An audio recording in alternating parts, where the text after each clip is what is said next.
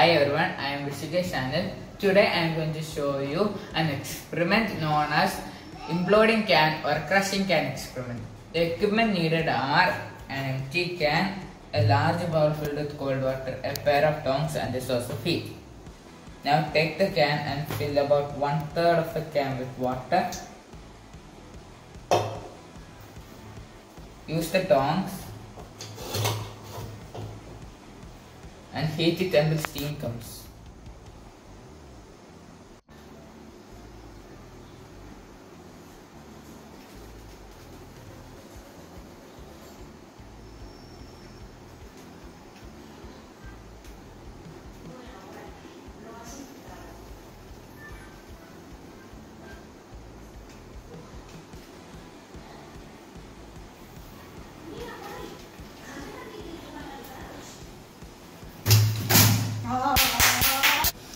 You just saw, this is the product of our experiment. Now you might be wondering how did this happen? Well, it's really simple. You see, liquid exits pressure on all sides of the can and when we heated the can, the water particles present inside the can vaporized into water vapor in the form of steam. And when we dunk the can into cold water, the corners of the water condensed the water vapor into, into water particles in the form of water drops, whose pressure is significantly lesser than the pressure applied by the water vapor. As you know, there's the pressure all around us. This, this pressure is known as atmospheric pressure. As of now, the atmospheric pressure is far greater than the pressure applied on the can by the water, water particles. As nature wants all pressure to be equal, there is a sudden, the, sorry, there is a sudden and violent outbreak towards the center of the can, equalizing the atmospheric pressure and the pressure applied on the can by the water particles. This phenomenon is known as implosion. Hope you enjoyed it and thank you for your time.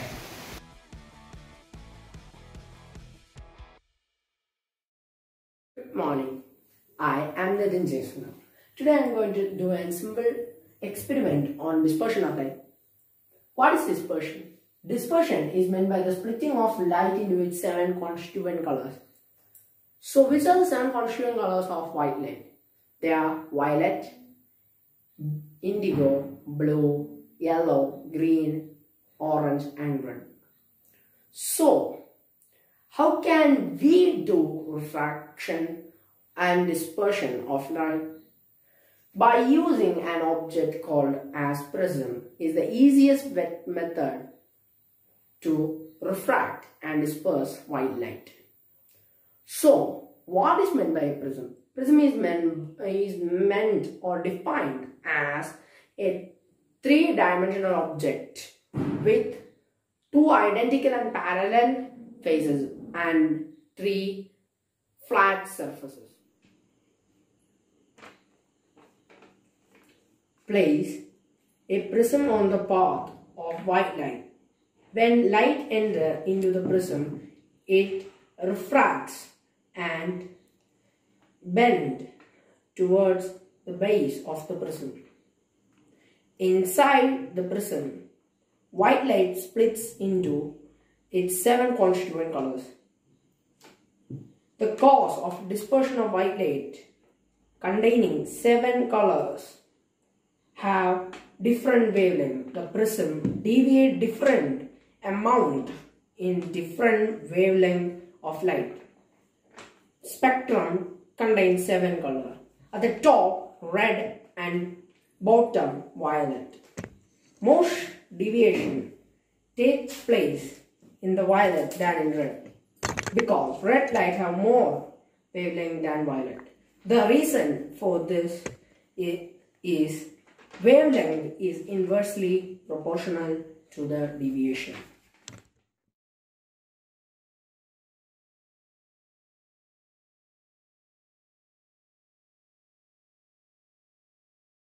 Hello everybody, I am Rashid Nofal from class 8S.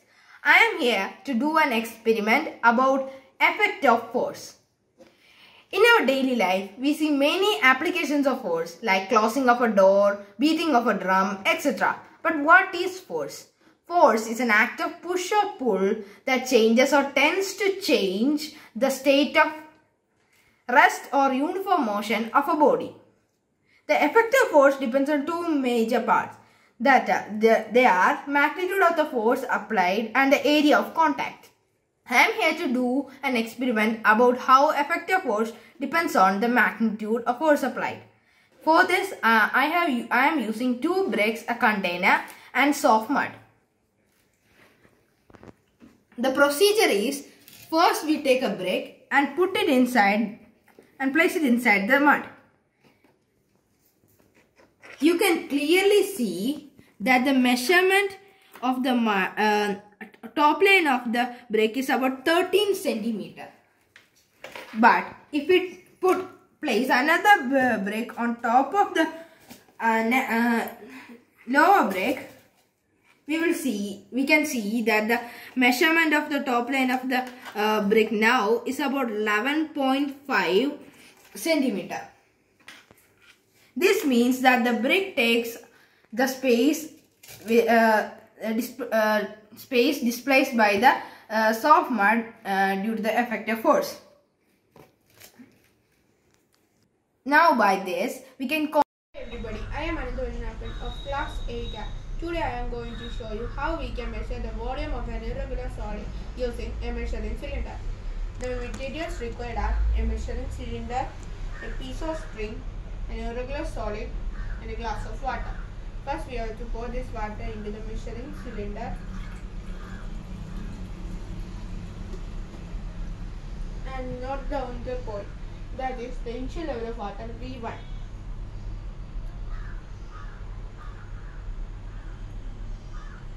Then we have to tie the string into an irregular solid and slightly immerse it in the measuring cylinder without touching the walls of the container or the bottom. Now you can see there is a change in the level of water. That level is final level of water V2.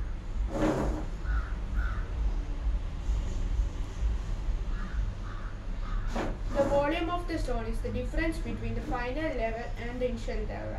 That is V2 minus V1. Thank you. Good evening, everyone. Respected teachers and my dear friends. I am Akshita Reina of class 8S. I am going to demonstrate an experiment to verify the Archimedes principle by using an Eureka can.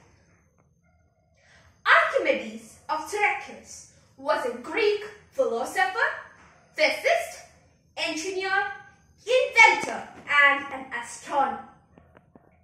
He was born in 287 BC and died at the age of 75 years. Some of the major inventions of Archimedes includes the Archimedes principle, the Archimedes screw, the Archimedes number, the Archimedes palm, the measurement of a circle, and the value of the pi. He became famous by the discovery of the law of hydrostatics, which is also known as Archimedes principle. Archimedes principle states that when a body is fully or partially immersed in a fluid, it experiences an upward thrust, which is equal to the weight of the fluid displaced. It can be illustrated with the help of an Eureka can, which is also known as an overflow tub. An Eureka can is actually a container with a spout near its neck. It got its name from the famous physicist Archimedes. When he apparently stepped onto the water, the sum of the volume of the water in the bathtub overflew, which is as equal to the weight of the body part which is immersed in the liquid. By finding out that, he ran through the streets shouting Eureka, which means I found it. So, going to the experiment. The aim of my experiment to, is to verify the Archimedes principle by using an Eureka can. So the materials that are used here includes an Eureka can, a measuring cylinder, a stone, and a spring balance. Now the procedure. The first step is to fill the Eureka can with water and let some of the water drain through the spout into the measuring cylinder.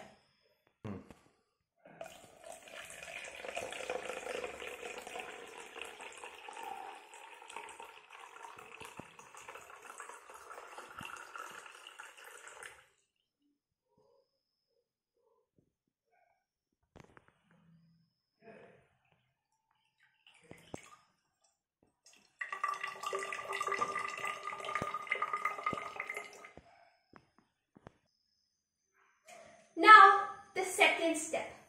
It is to measure the weight of the stone by using the spring balance. It has been found that the weight is 40 gram. Now the step 3. It is used to measure the weight of the irregular solid that is stone in water. You can see that the weight of the irregular solid is 30 gram. And also when I immerse it in the water, some of the water overflow through the measuring cylinder.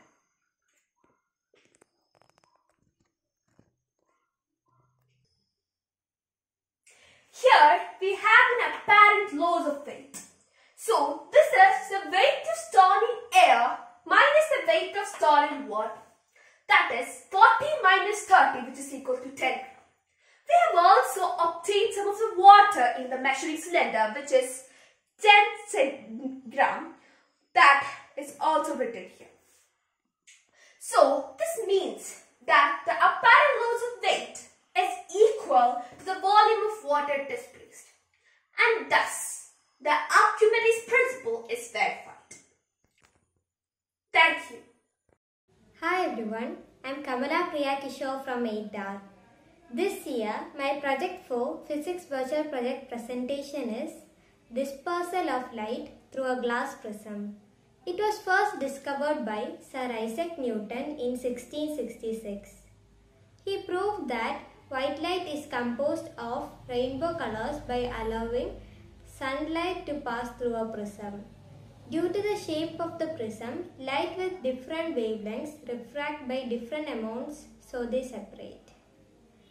The light emerging from the prism was projected onto a screen and Newton was able to see the range of colors in the visible spectrum.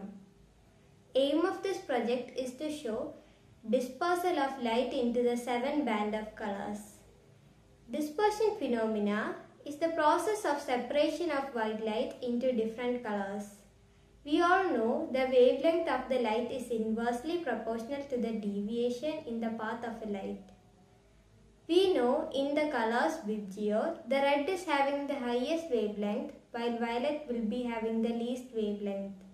We can conclude that the violet will be deviating the most as it has the least wavelength whereas the red color which is having the highest wavelength will disperse the least.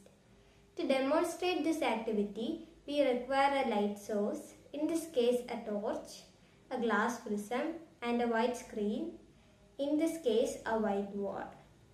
When we pass the light through the prism, it disperses into the seven colors. Light source I am using for this project is a torch. When the light from the torch passes through the prism, we can see the seven colors of the rainbow reflecting on the wall.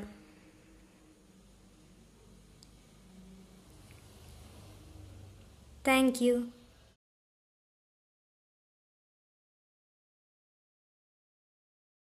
Hi, I'm Abhishek of class 8R. Today I'm going to show you how to prepare lamp black from oil. The items we need to prepare this project are oil, matchbox, a lamp, some cotton wicks and a plate. So we can start our experiment. So first of all, we can pour some oil into the lamp and we should place a cotton wick and we can lighten the lamp.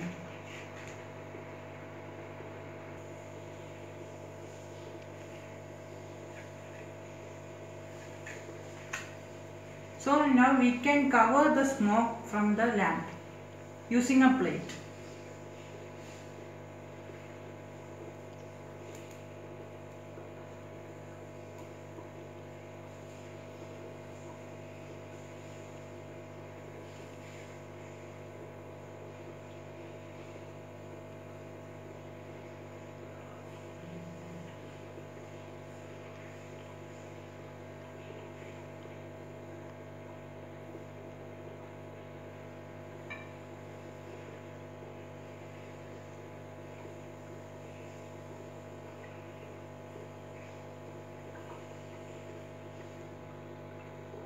This is the pure lamp black obtained during this process. You can see that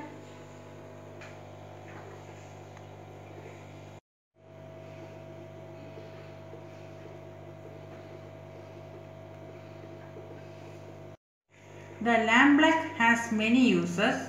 I will explain it one by one.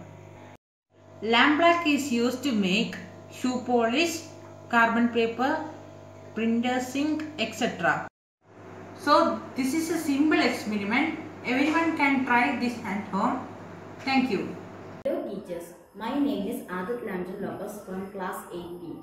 Here I am going to do a presentation on the topic chemical reactions.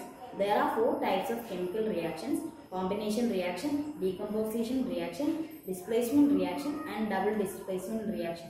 Here I have taken combination reaction as the concept for my topic. Combination reaction is a reaction in which two or more substances combine to form one singular compound. For example, the burning of magnesium in air. Procedure. Take the magnesium ribbon and hold it under the flame of a candle with the test tube holder. Once it starts and completes burning, take the residue in a beaker and add 5 ml of water into it. Mix it thoroughly and then dip a red litmus into the solution. The materials needed for this experiment are a magnesium ribbon, a test tube holder, a beaker and some red litmus. First, we take the magnesium ribbon and put it in a test holder. And then we hold it out onto the candle. Once it starts to burn, we can put it into the beaker.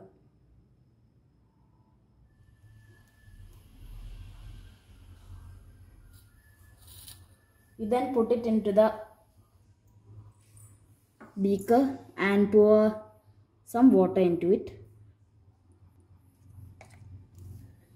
Then mix it thoroughly.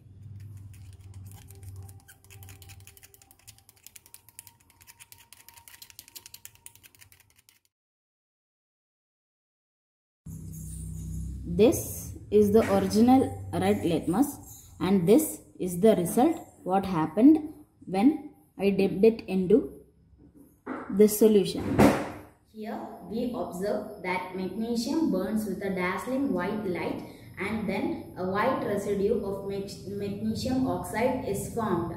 When we mix this uh, residue with water and then dip a red litmus into it, the red litmus uh, changes into blue color. But the blue litmus retains its color and stays blue. From this, we can understand that the burning of magnesium ribbon is a combination reaction and that magnesium oxide is a basic oxide. It can be chemically expressed as 2Mg plus O2 is equal to MgO. Thank you. Good evening, my dear teachers and my fellow classmates. My name is Ananda Patmanaban A and I'm from class 8B. Today I'm going to show you my chemistry virtual presentation. So my project is about neutralization reaction. So what is neutralization reaction? A neutralization reaction is a type of double displacement reaction in which an acid and a base react to form salt and water. So the as you may as all of you may know, a double displacement reaction is a type is a type of reaction in which two compounds in, in their aqueous solution interchange the ions to form new type of compounds. So neutralization reaction is a type of double displacement reaction.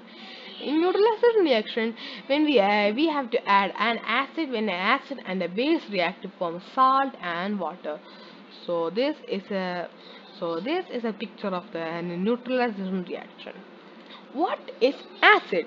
An acid is a chemical substance that neutralizes alkalis, dissolves some metals, and it also turns blue litmus red.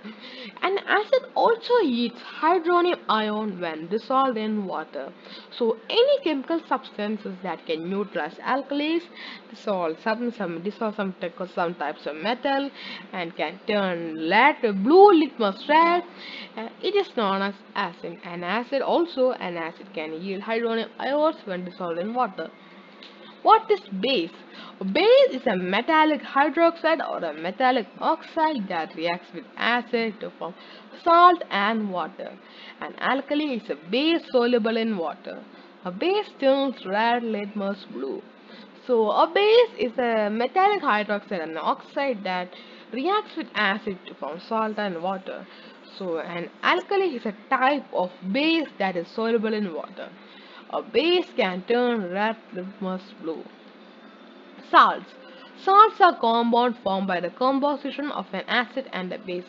The compound formed when a base and an acid react is known as salt. So this is some pictures of different kinds of salt. Examples of neutralization reaction. Reaction between hydrochloric acid and sodium hydroxide. When a solution of sodium hydroxide reacts with dilute hydrochloric acid, sodium chloride, also known as salt, and water are formed. So this is, a, this is the equation for the uh, reaction between hydrochloric acid and sodium hydroxide. Reaction between copper oxide and sulfuric acid. Copper oxide reacts with dilute sulfuric acid to give copper sulfate. Copper oxide plus H2SO4. that's all this is the equation. when we add copper oxide to dilute sulfuric acid, we will get higher copper sulfate and water.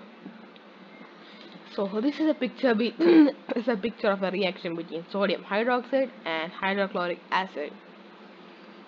And this is a picture of the reaction between copper oxide and sulfuric acid. So some practical applications of neutralization reaction. In digestion, Our stomach produces hydrochloric acid which helps the digestion of food. It also kills the harmful bacteria that enter our stomach uh, when, when we are eating for food. During indigestion, the stomach produces too much hydrochloric acid which can cause pain and irritation. The excessive acid can be neutralized with the help of antacids. Uh, milk of magnesia or magnesium hydroxide is an antacid that is recommended by doctors. It's a mild base. Sodium bicarbonate by baking, so also known as baking soda, is also used for this purpose so this is some pictures of the antacids so this is the milk of magnesia or magnesium hydroxide and this is the baking soda. Soil treatments. Plants require mostly neutral soil for their healthy growth. Soils in regions containing chalk and limestone are usually alkaline. Soils in regions containing uh, sandstone, clay, and peat are usually acidic. The acidity of a soil can be reduced by liming the soil. This is carried out by adding calcium hydroxide, calcium oxide, or calcium carbonate, calcium carbonate. All these substances are basic in nature, uh, basic in natures, and reduce the acidity of the soil. If the soil is too alkaline, then its al then its alkalinity can be reduced by adding decaying organic matter, manure or compost, which contains acidic materials. So plants mostly require neutral, uh, neutral soil for the healthy growth. Soils in region containing chalk and loam are usually very has uh, more has more alkalinity. Uh, The alkalinity is more. So we can reduce the alkalinity of a soil by adding manure or compost. And we can also uh, reduce, so we can sorry, it's reducing alkalinity. We can reduce the alkalinity of soil by adding manure or compost, and we can reduce the acidity of a soil by adding uh, the- by liming the soil. So this is a picture of the liming, uh, a farmer liming the soil. Thank you. Good morning to one and all. Today I am going to show the displacement reaction between iron nails and copper sulfate.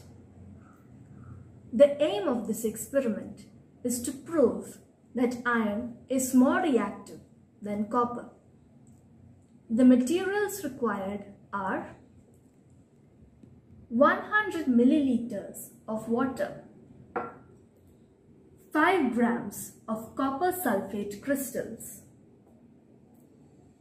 a pair of iron nails, a two beakers, and a glass rod. First, we combine the copper sulfate crystals with the water in order to obtain a copper sulfate solution.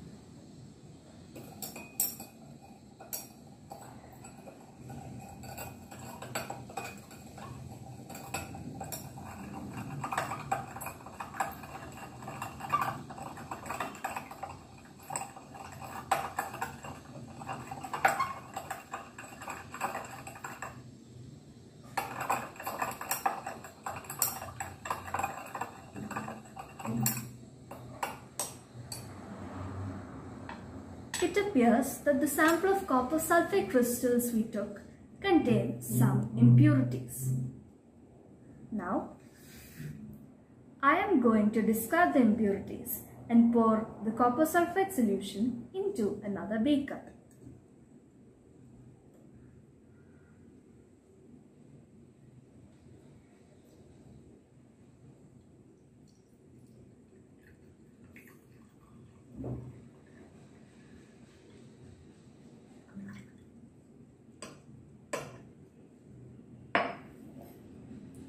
Here, we have obtained 100 milliliters of copper sulfate solution. Now, I'm going to add iron nails to it. In order to showcase this reaction, I have done this experiment yesterday and kept this mixture overnight. Here we can observe that there is obviously a visible change. First, we can notice that the blue color of the copper sulfate solution has changed to a green color of ferrous sulfate solution. We can also observe a lot of reddish brown deposits on the iron nails and this is copper. Now, what can we conclude from this? If we look at this equation, we see that iron plus copper sulfate will give you ferrous sulfate plus copper.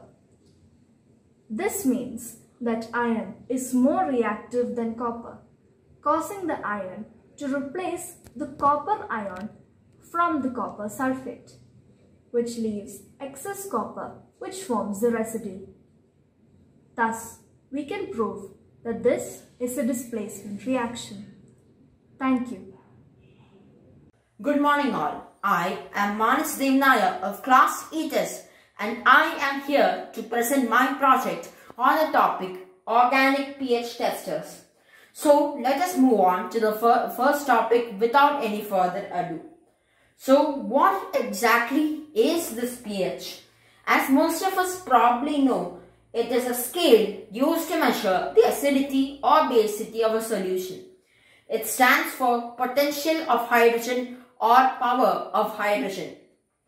It basically works by measuring the concentration of the H plus or hydronium ions in a solution. So, the next topic is pH indicator. Basically, pH indicator is a compound added to a solution to measure the pH value on a visual scale. Some pH in uh, uh, some pH indi indicators are found on a, organically and some of them may even be in our garden. The first example of organic pH indicator is the anthocyanin family of compounds. Anthocyanins are compounds which give color to, to leaves, fruits and flowers. Some of these anthocyanin compounds have the ability to detect a change and a change in pH level and change their color accordingly. A good example of anthocyanins which possess this property is the one found in red cabbage called flavin. The next one is a very popular pH indicator which we may have heard of, litmus. It is a pH indicator made from a mixture of lichen which is a plant found underground. Litmus papers and solutions have become a very popular pH indicator worldwide and have, and have found use in the laboratory. The word litmus comes from the old Nordic word for colored moss. Next up is turmeric. We will have heard of turmeric because it is an extremely popular spice. However, this spice can also act as a pH indicator which turns yellow in an acid and, and, and a reddish brown color in alkaline substances.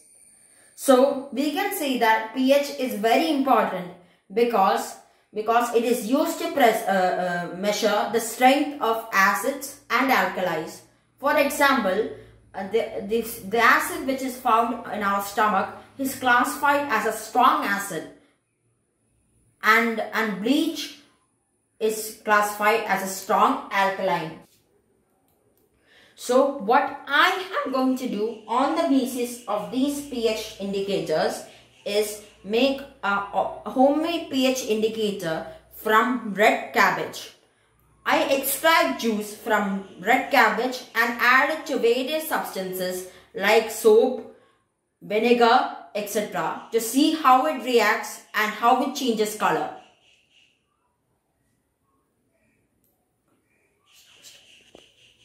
So this is basically what I'm going to do. By this project, I intend to conclude that chemistry exists everywhere. Thank you. Greetings everyone, I'm Nikia Thomas John of class 8Q. Today I'm going to differentiate acids and bases present in everyday items. I'm going to be using litmus paper as an indicator. Now let's see the two types of litmus paper. These are the two types of litmus paper, they're red and blue. Now, litmus paper is a water-soluble material made by the dyes extracted from lichens. Now let's see the change in litmus paper when dipped in an acid. This is an acid, it's hydrochloric acid. Let's take a red litmus paper and dip it in an acid. We can see there is no change in the color of the red litmus paper. Now let's take a blue litmus paper and dip it in the acid. We can see the color of the litmus paper changes from blue to red color. Now let's take a base sodium hydroxide.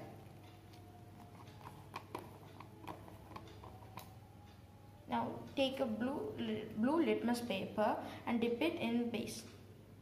There is no change in the color of the blue litmus paper. Let's take a red litmus paper and dip it in the base. The color changes from red to blue.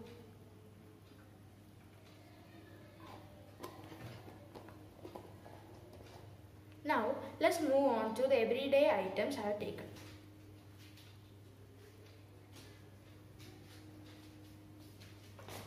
Lemon, soap, curd, hand wash, gooseberry, dishwash, baking soda, orange, tomato, grapes.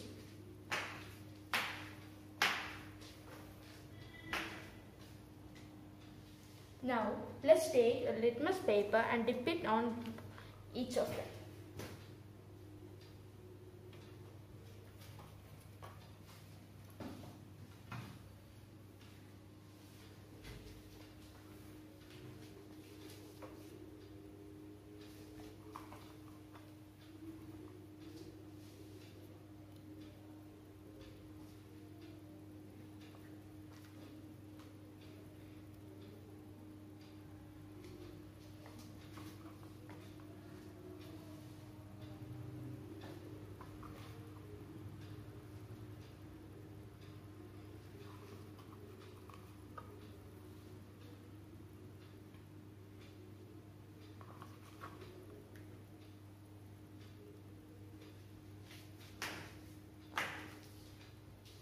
Now see the change in the litmus paper. Let's change in lemon. When we in lemon, when we put the blue litmus paper, it changes to red color. But when the red litmus paper is put in the lemon, it does not have any change in the color. Now in soap, the red litmus changes to blue color because it changes to blue color, but the blue litmus paper does not have any change.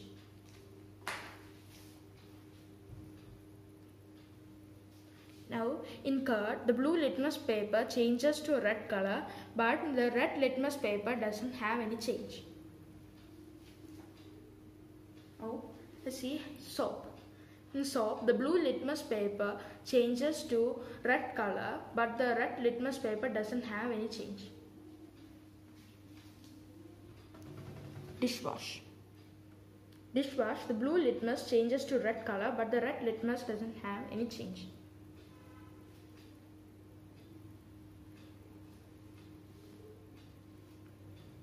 Baking soda. The blue litmus, pa- uh, uh, litmus paper doesn't have any change, but we can see that the red litmus paper has changes to blue color. Orange. In orange, the red litmus paper doesn't have any change in the color, but the blue litmus paper changes to red color. Grapes. Grapes, the red litmus paper isn't ha- doesn't have any change, but the blue changes to red color. Tomato, the red litmus paper doesn't have any change, but we can see that the blue litmus paper changes to red color. Now let's see the change in gooseberry. Now we will look into gooseberry.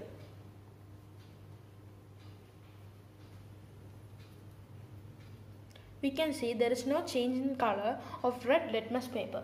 Let's take a blue litmus paper.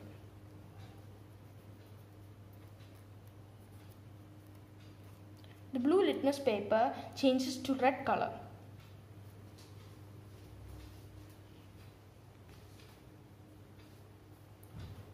Orange, grapes, tomatoes are acidic in nature, whereas soap and baking soda are basic in nature.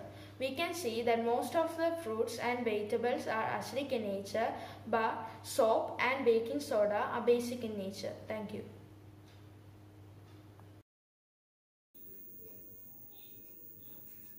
Good evening all. Myself Nityashri from ATA.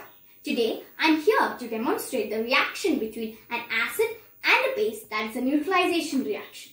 So, first of all, what is a neutralization reaction? A neutralization reaction is a type of double displacement reaction where an acid and a base reacts together to form a salt and water.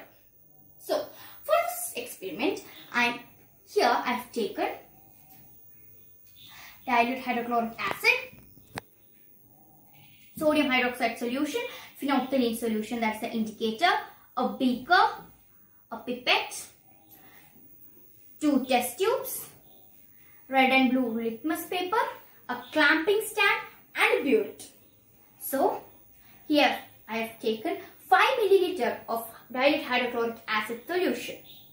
So I'm go next I'm going to add the phenolphthalein solution that's the indicator.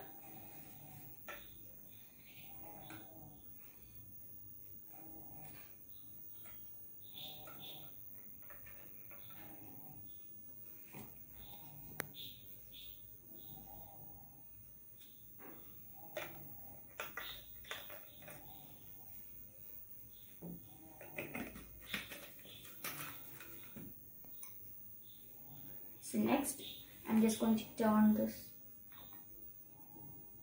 burette. Before that, I'm just stirring it. So next, Hello everyone, my name is Nivedel. I am of class 9S, roll number 17. Today I am going to do an experiment based on the topic water of crystallization. Water of crystallization means the fixed number of water molecules that are in loose combination with one molecule of a salt. The salt which contain water molecules is called hydrated salt. Now I am going to do an experiment to show the presence of water in hydrated copper sulfate. Now I am taking a boiling tube. I am taking some copper sulfate with a spoon and putting it to the test tube.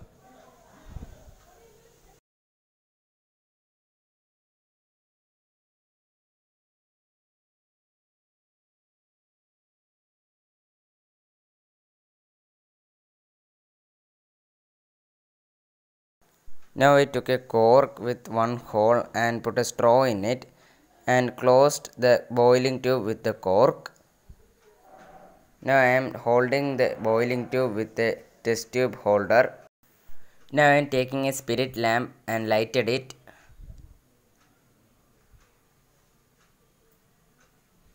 Now I am taking a beaker with cold water and put another tube in the cold water. Now I am heating the copper sulfate. It's slowly changing to the white color. That means the water in it has evaporated and is collected in another test tube and condensed. When the water is evaporated completely, it completely turns to white color.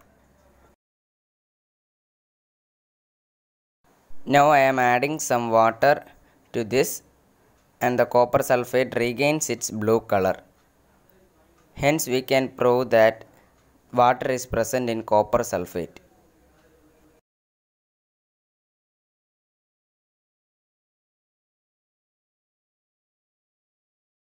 Hello, I am Pranav Sharath of Standard 8B. Today I am going to show how charcoal acts as a decolorizing agent. The materials taken are a rod, a filter paper, funnel inverted in the beaker and two beakers, beaker 1 and beaker 2 and an act finely powdered activated charcoal. Let's move to the procedure. The first procedure is add some activated charcoal to the ink color solution.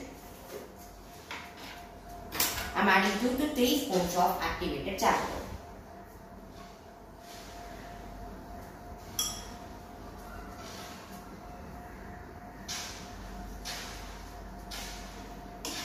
Now I am going to mix.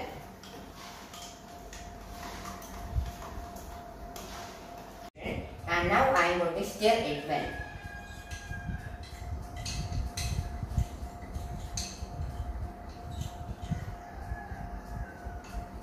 Now I am going to pour the solution in the funnel with filter paper. Slowly. If we need, we can uh, stir it with the, the, this rod.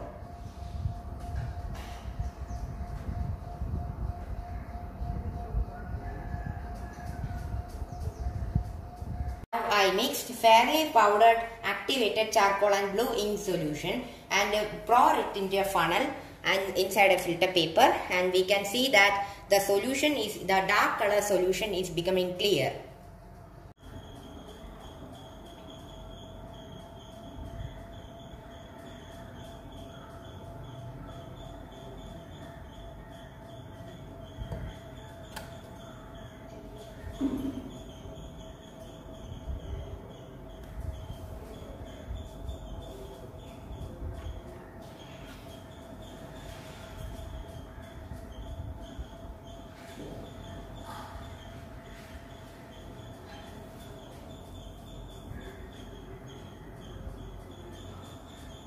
Can compare these two. This is the filtrate solution and this is the charcoal filled with ink solution.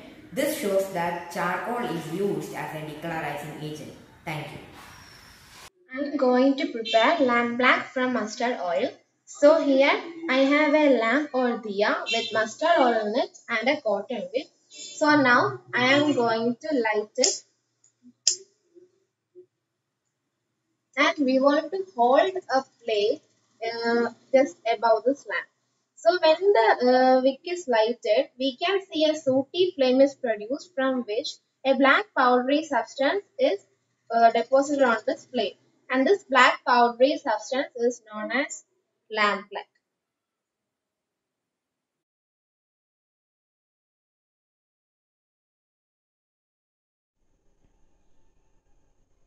When you look around in nature, you find many amazing creations. Among these, the flowers easily capture your attention. So is the case with bees and butterflies. The ultimate aim is to maintain the ecosystem by means of pollination. So why not spare a thought for the wonderfully designed process? I am Anakha Sainesh of class 8S presenting before you the chemistry of reproductive parts in flower, biology of fertilization and physics of pollination. Here is a diagram which shows the parts of a flower, parts uh, of a flower in which it, there is a detailed structure of gynoecium, stone, stigma, style, ovary and ovule and androecium with anther and filament. As shown here, an anther is bilobed and has four pollen sacs. Each pollen grain looks like this and a matured pollen grain uh, with pollen tube uh, looks like this. Pollination is the transfer of pollen grain from anther to the stigma of a flower. It can happen with nature via wind, water, etc. or even with the help of insects, birds or even animals. Here you can see pollen attached to the body of honeybee. Pollination is of three types. Autogamy when it occurs within the same flower. Geitonogamy when it occurs between two flowers but of same plant. Allogamy when it occurs between two flowers of different plants. After successful fertilization, ovule turn into seeds and ovary turn into the fruit. It is fascinating to understand that the color and shape of the petal is designed for a purpose.